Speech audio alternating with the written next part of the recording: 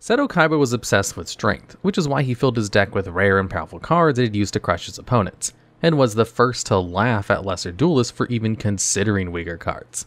But despite how often Kaiba paraded the power of his particular strategy, he used some terrible cards that even the weakest deck builders would laugh at. So today, we're looking at some of Kaiba's worst cards, how they held him back from becoming the king of games, and why these cards did so terribly in the TCG. Reigning over the number 10 spot is arguably the most legendary and meta warping card in the history of Yu-Gi-Oh! Chaos Emperor Dragon Envoy of the End, and CED earned that title. In order to summon to the field, you have to banish a light and dark monster from your grave, which is a small price to pay for getting access to its absurd effect. Because if you're willing to pay 1000 life points, you can send every card from both players' hand and field to the graveyard, and then inflict 300 points of damage to your opponent for every card sent. This made it the perfect game ender, and while it only appeared as part of Kaiba's arsenal a single time, its impact cannot be understated, as its presence helped to end a decades-long rivalry between Kaiba and Siegfried von Schrödinger, proving to the world that Kaiba Corp reigned supreme. You see, after Kaiba Corp stocks crashed, Kaiba set up the KC Grand Championship to regain the public's trust. And Schroeder saw this as an opportunity to humiliate Kaiba by having the winner of his tournament be the head of his rival company. Kaiba eventually caught on to Schroeder's plans. However, he knew that by disqualifying him, it would only make Kaiba Corp seem even weaker. So instead, he challenged Schroeder to a duel. If Kaiba won, he would save his reputation and Schroeder would be officially disqualified. But if Schroeder won, not only would he remain in the tournament, but Kaiba Corp would be humiliated. So, in a way, everything Kaiba had ever worked for rode on this duel, and Schroeder initially held a huge advantage with his Valkyrie strategy, especially when he equipped Kaiba's XYZ Dragon Cannon with Nibelung's Ring, forcing him to discard every monster he drew during the draw phase while keeping him locked under the effects of the three goddesses. And this advantage culminated in the summon of Brynhilde, to which Schrodinger equipped with the enchanted sword of Nothung which made virtually every dragon monster in Kaiba's strategy useless against the Valkyrie. Or at least almost every dragon monster, because with a lucky draw from Graceful Charity, Kaiba managed to draw into Chaos Emperor Dragon, and with emergency provisions, he had just enough life points to wipe the field in both players' hands clean, burning Schrodinger for a lot of damage and leveling the playing field just enough for Kaiba to strike back. And strike back he did, as on his following turn, Chaos Emperor Dragon was one of the dragons that Kaiba returned to the field with Dimension Fusion in order to perform an utterly ruthless OTK, saving Kaiba Corp's reputation and finally leaving Schrodinger Corp in the dust, for the time being anyways. So with such a dominant display in the anime, how did Chaos Emperor Dragon turn into one of the worst cards that Kaiba's ever played? Well, for a while, it wasn't. In fact, Chaos Emperor Dragon might just be the most meta-warping card in the game's history. You see, Chaos Emperor Dragon's effect is busted, but was especially strong in classic Yu-Gi-Oh! where few other cards matched its power level, and the slower game meant that it was really easy to flip your graveyard with light and dark monsters, ready for you to drop this bomb of a monster and either level the playing field with its wipe, or just end the game outright with its burn. This made CED an absurd card, but what put it over the top was its synergy with both Sangan and Witch of the Black Forest, which you could summon to the field alongside CED to get a free search after you use its field wipe effect, which you would use in order to search out for Yata-Garasu a spirit monster that can skip your opponent's draw phase if it can deal battle damage, preventing them from drawing for the turn. And because CED's wipe dealt with all obstacles, Yata-Garasu had an open field, which left your opponent with 0 cards in hand and no way to draw to free them from the lock while Yata-Garasu poked for 200 damage each turn, slowly but surely securing game. This was known as the Yata lock and was so strong that Yata and CED were among the first cards in the game's history to be banned. It remained on the list for over 15 years where they were both deemed safe to release only somewhat recently. However, while Yata managed to escape the ban list unscathed, the original effective Chaos Emperor Dragon would have still been just as busted in the modern day. So to make it safe to release, it received an errata to nerf its effect. But this errata did more than just make CED safe, it made it unplayable. As while its effect was virtually the exact same in its original form, it now had a new restriction which prevented you from activating any other card or effects for the entire turn if you wanted to use CED's wipe. Which, while effective at preventing you from recreating the Yata lock, also makes it virtually impossible for you to search CED, set up your graveyard for its summon, or do anything else if you want to use its effect, making it an incredibly awkward card to use. So awkward in fact that no one plays CED anymore as its best use is as vanilla extender that is outclassed by most other chaos monsters in the game that actually allow you to use their effects, including CED's Pendulum evolution, which despite having a weaker field wipe, actually has managed to see solid play in Dragon Link for its strength as an extender. But in terms of the original Emperor, so long as it has its modern restrictions, it'll likely never see play again. And it's honestly really sad to see because Emperor Dragon is an icon of early Yu-Gi-Oh!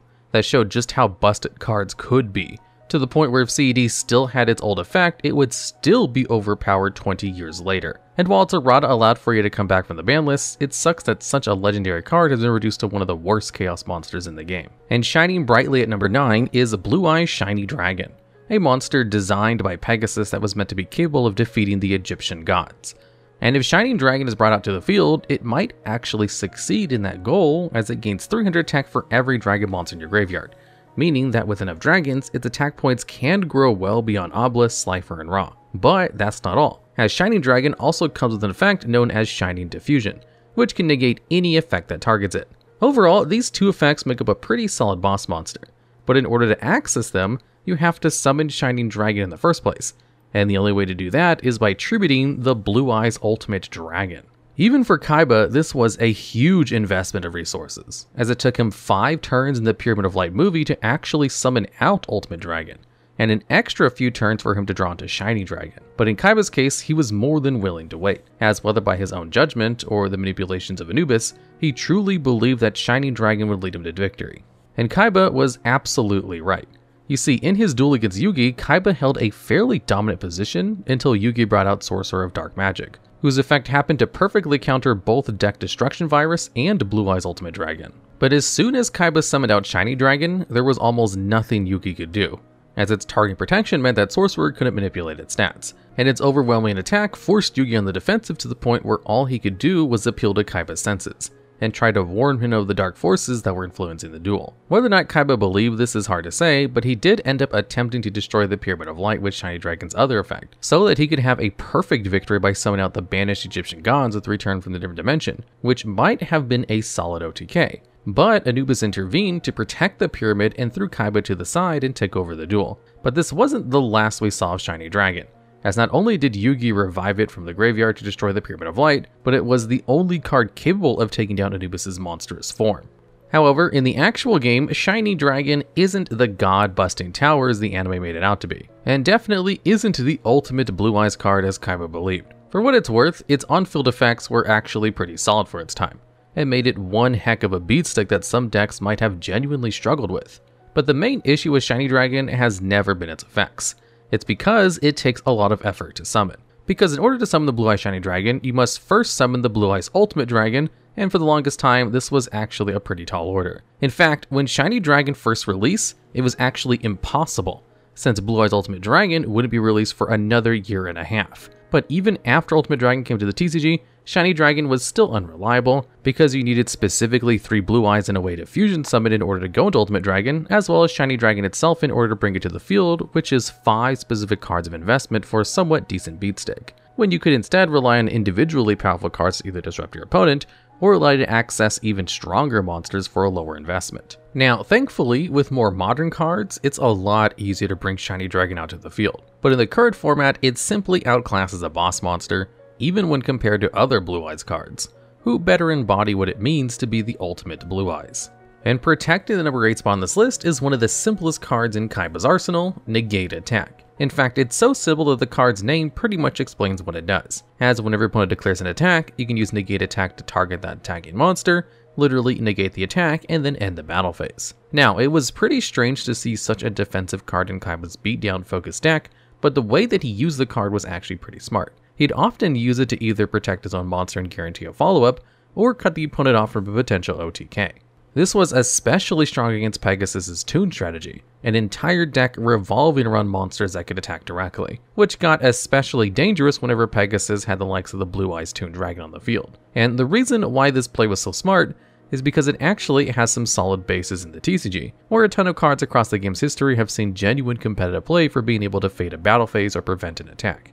The big issue with Negate Attack though is that it's one of the worst battle faders you could possibly use. And that's because it's a counter trap that can only be activated specifically when your opponent's monster declares an attack, making it incredibly vulnerable to common removal options that your opponent will use to deal with it well before the battle phase even starts. On the other hand, the likes of Waboku and Threatening Roar can be activated at any point in a turn, and can simply be chained to any removal effect while doing the same thing that Negate Attack would Meanwhile, classic hand traps like Battle Fader and Gorz can also end the battle phase in their own way, while also providing you free advantage. Negate Attack just doesn't have the benefits to justify its use, as the only real upside it has over most other cards is that it's a counter trap, so it can be difficult to interact with once it's activated. But even then, there are a ton of better cards to use that just give you much better payoffs for the same condition. Wall of Disruption can mean that your opponent runs face first into destroying their own monster, Jelly Cannon can act as removal, and of course, the likes of Mirror Force can wipe an entire field. Now, in the modern era, cards that stop the battle phase and battle traps as a whole are currently a lot more niche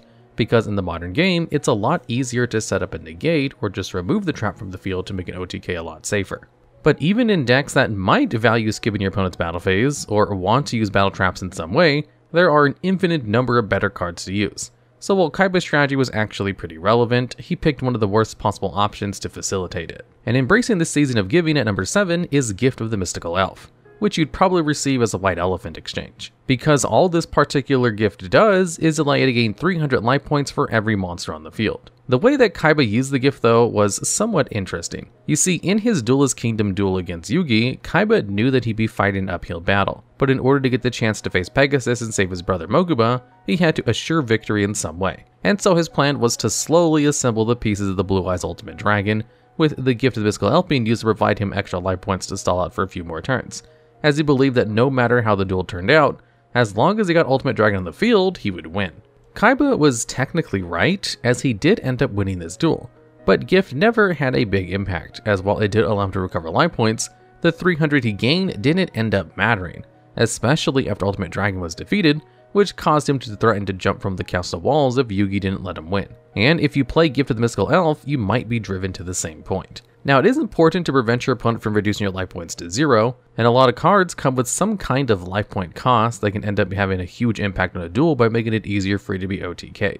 But gaining life points is rarely ever going to be the reason that you win a duel because it doesn't get you any closer to actually winning. And while higher life points can make it more difficult to OTK you, it's not worth giving up card advantage for. In fact, the best life point gain cards in Yu-Gi-Oh! are the ones where increasing your life points is just a bonus as part of a better effect rather than the card's entire purpose, helping to facilitate a deck's regular game plan while also making it harder to reduce your life points to zero. But cards like Gift of the Mystical Elf don't really have a place in modern strategies where life points act more as a resource system than anything else, and most decks are more than willing to spend this resource if it gets them closer to the particular win condition. And Gift doesn't really facilitate any kind of win condition, but even if your deck desperately needed a way to gain life points to function, there are a ton of cards that exist that allow you to gain way more life points for a lot less investment. Overall, it's unlikely that Gift of the Mystical Elf is ever going to be particularly impactful in a real duel, as even in the anime, it didn't really do much to turn the tide of the duel in Kaiba's favor. And duplicating into number 6 is cloning a trap card that let Kaiba use his opponent's monsters as a resource. And that's because cloning actually summons a token whenever your opponent normal or flip summons a monster with a level, and that token will have the exact same type, level, attribute, attack, and defense, making it almost a one-to-one -one copy. But if the monster that your token was cloned from ends up being destroyed, your clone will also get popped too. Kaiba could have technically used cloning to use an opponent's strongest monster against them, but of course Kaiba was too prideful for that, and instead would simply use the clone token as a stepping stone to summon the Blue Eyes White Dragon.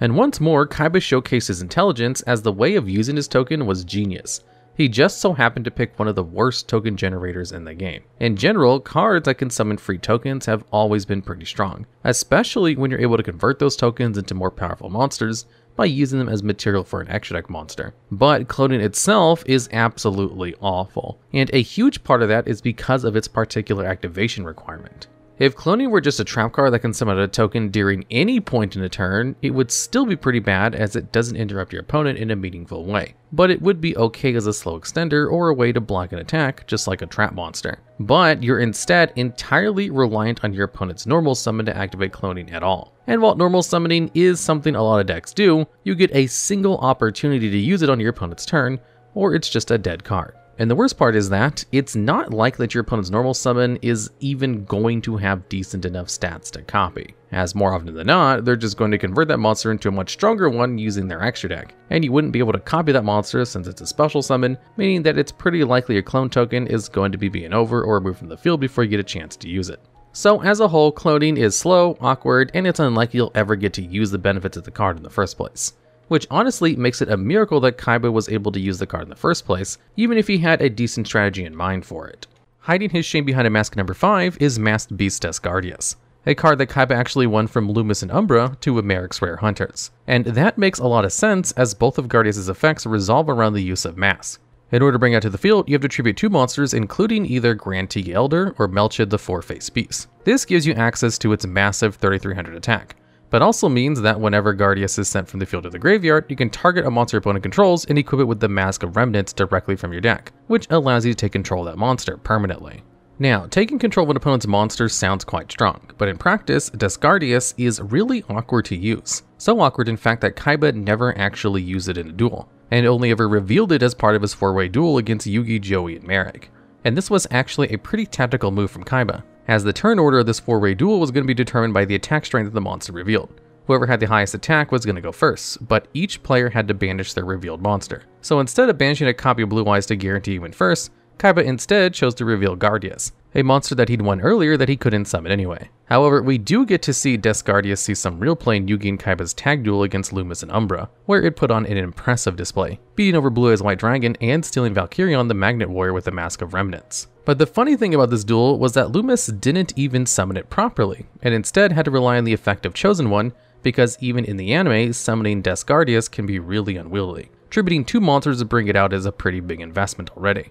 But what really hurts Des Gardius is that at least one of the monsters you tribute has to be one of two very specific and pretty bad normal monsters. But the worst part of this entire package is Mask of Remnants, which is entirely reliant on Des Gardius to be useful, because if you happen to draw into Remnants, its only effect is to reshuffle itself back into the deck, making it one of the most useless cards in the game. And if you want to get any mileage out of this package at all, you must play Remnants, as otherwise, you're just jumping through a ton of hoops for a 3300 vanilla beatstick, which isn't really impressive in the modern era. But even if you do choose to play Remnants, it's honestly not worth the effort of summoning Des Gardius and playing either Melchid or Tiki Elder, when you could instead play the easier to use mind control cards that don't require any setup at all.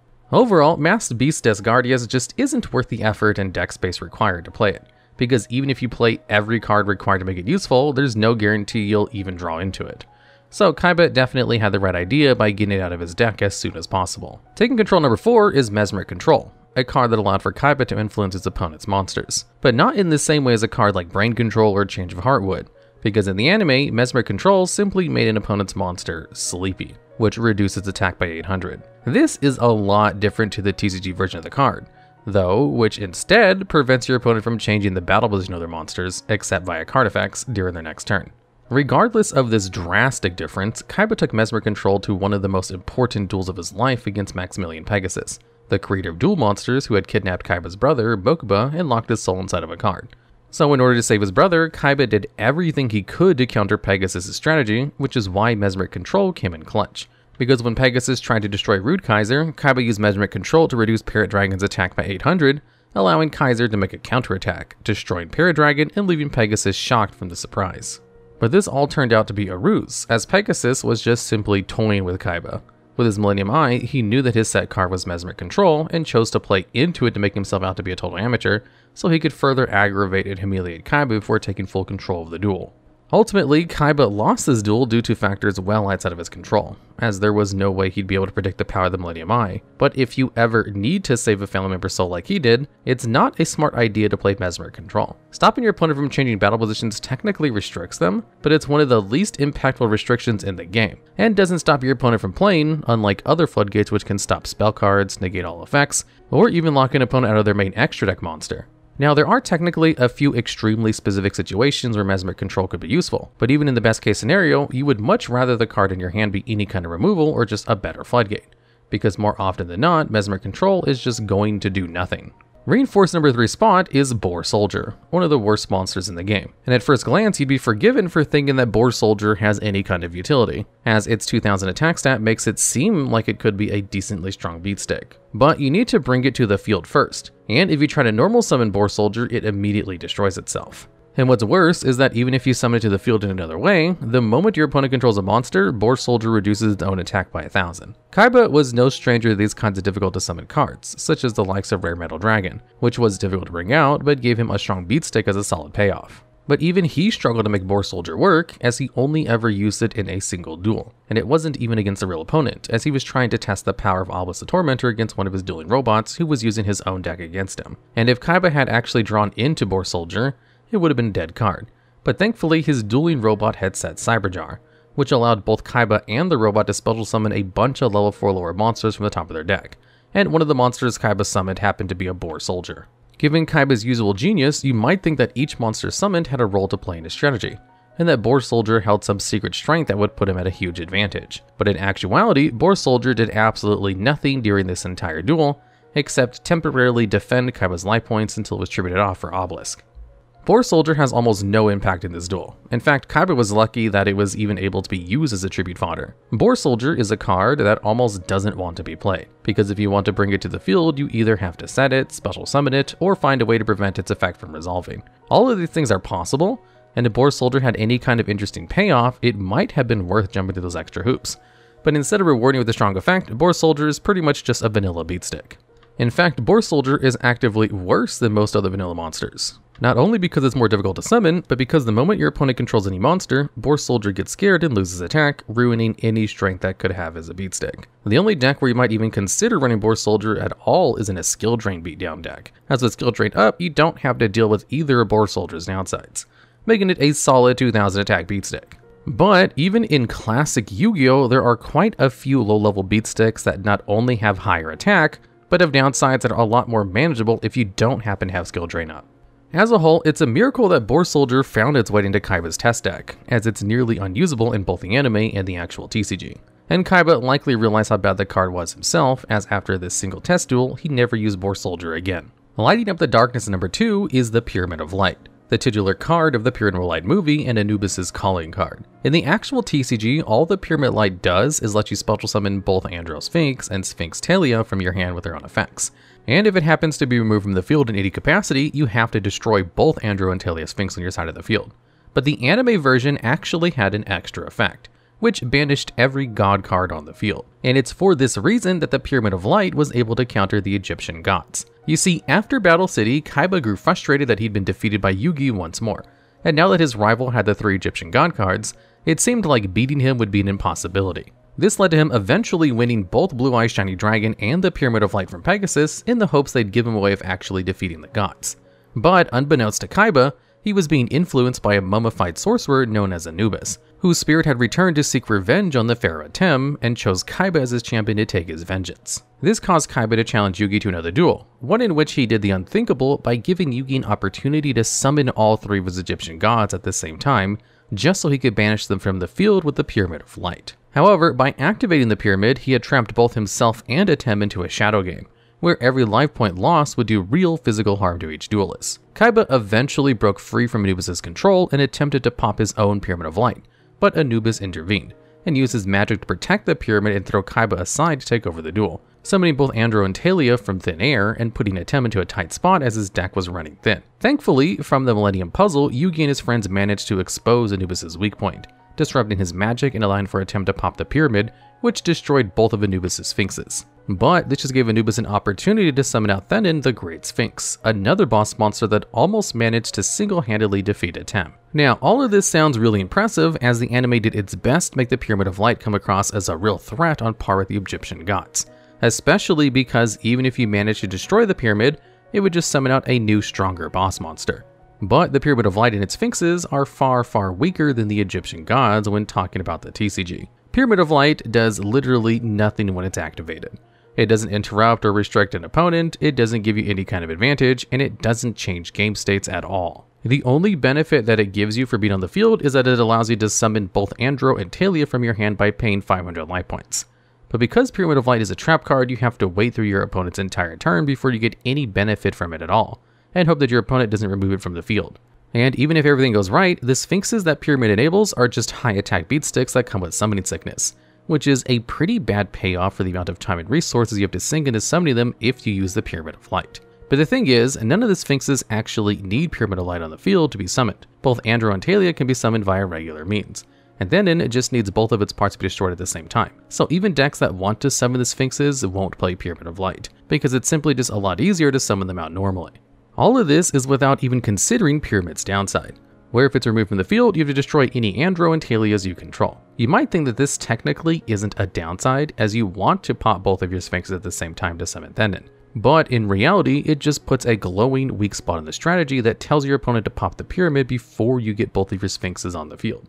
Overall, if Pyramid of Light was a card that did nothing, it would be slightly better than its TCG version, as it can even be detrimental the deck it was made for. But even if you manage to perfectly set up Pyramid and your Sphinxes, the boss monster you summon from it are mediocre at best, and not worth the effort, especially in the modern era where it's a lot easier to summon high attack monsters. Firing off at number 1 is Virus Cannon, a card so bad that it almost caused Kaiba to lose against Ishizu Ishtar in the Battle City Finals. Virus Cannon can destroy an opponent's deck, but how it does that depends on which version you're looking at. The TCG Virus Cannon requires you to attribute any number of monsters you control, and then force your opponent to send the same number of spells from their deck to the graveyard. The anime version of this card is a lot stronger, as with this single card, you get to destroy every spell card your opponent's hand and deck for no cost. And that's why Kaiba valued the card so much, as it gave him a way to prevent your opponent from using any spell cards against him. This was a genius move in theory, as he paired it with Crush Card Virus, one of the most busted trap cards that also destroyed an opponent's stack by getting rid of strong monsters, so that the only cards to be left with were their weakest monsters and a bunch of trap cards. However, the one time that Kaiba managed to use both Virus Cannon and Crush Card Virus in the anime, his opponent was Ishizu Ishtar. This meant that his strategy backfired almost immediately, because after having her deck destroyed, Ishizu simply activated Exchange of the Spirit to return every card she milled back to her deck and leave Kaiba with only 6 cards left. Arguably, the only reason Kaiba's strategy failed was because he happened to face an opponent who could benefit from it. But interesting enough, if you played Virus Cannon in the TCG, you'd notice that a ton of strategies actually benefit from having their spells milled. From Fluffals getting free searches from Toy Vendor to Infernoble getting to set up with Phoenix Blade, a ton of strategies can get a lot from milling their own spell cards, to the point where some strategies are willing to play Foolish Burial Goods. And funnily enough, one of the best strategies that can take advantage of milling spells happens to be Ishizu Tearlaments which plays quite a few spell cards that they're eager to mill. So if you happen to make the same mistake as Kaiba and use Virus Cannon to force them to destroy their own deck, a lot of strategies would be happy to get these meals for free, especially because they're the ones that get to choose which spell cards they send, which means that you don't even get a chance to scout out their strategy or snipe an important spell. This is already a terrible effect on its own, but Virus Cannon also comes with an associated cost required that you have to tribute monsters use it in the first place, helping your opponent in two ways by letting them mill their select spells while also getting rid of your monsters for them. Even if you're playing a dedicated mill strategy, there is no way to justify the amount of resources you have to invest for Virus Cannon to have any kind of impact. But even then, it's likely your opponent is going to benefit from it anyways. But maybe the biggest kick in the face for the card is that if you want to mimic the best part of its anime effect and rip out your opponent's spell cards from their hand before they can use them, you can, and for a much lower cost, run Eradicator Epidemic Virus, which can also hit trap cards too.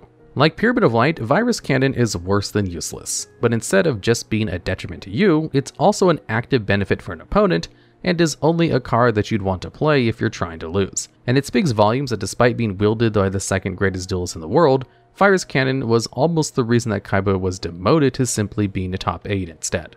Alright, and that's the list. If you think we missed any other worse cards, or have any ideas for other characters like for us to cover next, please let us know down in the comments below. Remember to like the video, subscribe if you want to keep up to date on future videos, and thanks for watching.